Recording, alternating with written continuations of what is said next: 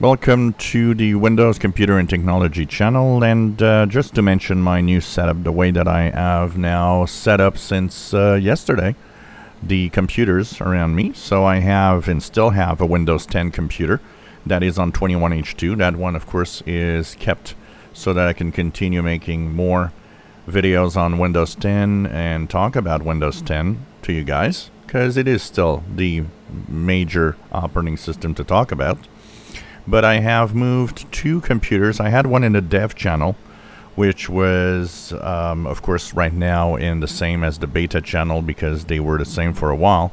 But now dev channel is going to 23H2, which is next year with new features. So that one is dev channel and build 25115. And finally, my main computer, the one that I use here, that I make videos with, that I game with, I've decided that uh, take a chance and moved it on to um, 22H2, which is the beta channel and the insiders. So I decided to move that there. And uh, of course, that means that I have one computer left that is on the regular standard uh, Windows 11 channel for a stable channel. Uh, so it is going to be interesting to see as we go forward how all of this is going to work and uh, these uh, I'll be able to make videos for pretty much every version that is um, useful version basically. Uh, for those that are asking about uh, Windows 10 21H2, 22H2, sorry, um, a lot of you are saying, well, there's, that's, there's no such thing. Yes, there is. There is. Microsoft still says there is 22H2, but don't expect that to resemble Windows 11 or have anything Windows 11 like if you want or similar to Windows 11.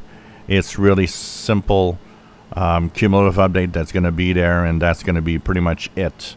So uh, that's the way it's going to work uh, basically for the uh, Windows 1022H2, a small cumulative update at some point.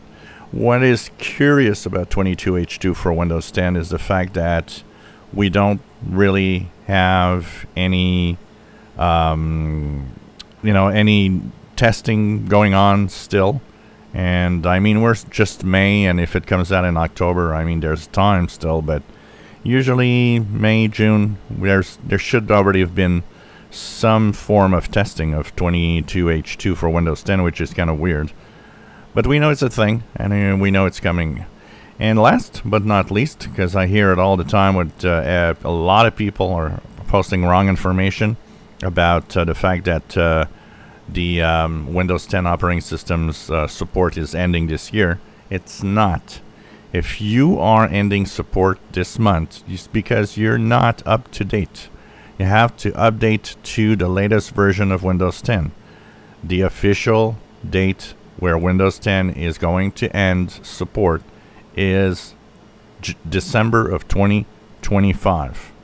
It, that is not changing. It's not going to change and nobody is being pushed to Windows 11. If you are pushed to Windows 11, that's because you accepted the download and install for Windows 11. If you don't touch it, if you don't do nothing, you're not forced to Windows 11. Nobody is. And so, um, if you are getting end of support messages, you need to update to the latest version. It's as simple as that. That's what's going to give you the update till 2025. If you enjoy my videos, please subscribe, give us thumbs up. Thank you for watching.